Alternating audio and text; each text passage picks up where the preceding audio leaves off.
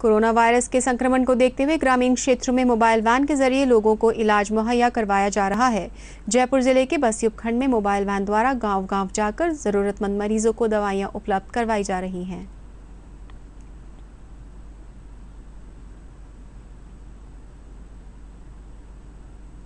Mobile OPD van राज्य सरकार के द्वारा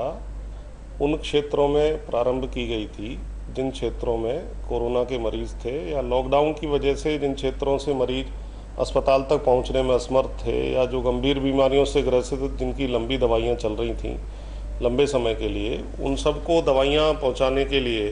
मोबाइल ओपीडी वैन की व्यवस्था की गई। सीनियर सिटीजन जो जो लोग हैं और जो असहाय लोग जो अस्पताल तक पहुँचने में असमर्थ हैं उनको दवाइयाँ उनके घर पर, उनकी जगह पर ही उपलब्ध हो जाए, उसमें ये मोबाइल ओपीडी वैन बहुत सहायक सिद्ध हो रही है। हम राज, जो राजकीय चिकित्सा सुविधाओं के अंतर्गत मोबाइल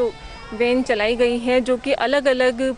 गाँव में जाकर के चिकित्सा की सुविधाएँ प्रदान करती लॉकडाउन के टाइम में जो लोग हॉस्पिटल नहीं आ पा रहे थे, दवाइयाँ ले पाने के लिए, उन लोगों को उनके घर तक हम मेडिसिन की सुविधाएँ हैं, वो उपलब्ध कराते हैं। गाँव के जो सीनियर सिटीजन हैं, जो कोविड 19 में बीमारी के लिए ज़्यादा, जो सेंसिटिव हैं, उन लोगों को हम उनके घर पे, जैसे विभिन्न प्रकार की बीमारियाँ हैं बीपी है शुगर है, या फिर और अन्य हाथ पैरों में दर्द, इस तरीके की बीमारियों के, सभी प्रकार की बीमारियों के हम मेडिसिन को उपलब्ध करा रहे हैं उनके घर में ही, ताकि उन लोगों को किसी भी तरीके की कोई दिक्कत ना हो, उन्हें हॉस्पिटल के रीज़न में जाना ना पड़े। दवाई के बारे में बढ़िया से सब मान गाँव के गाँव में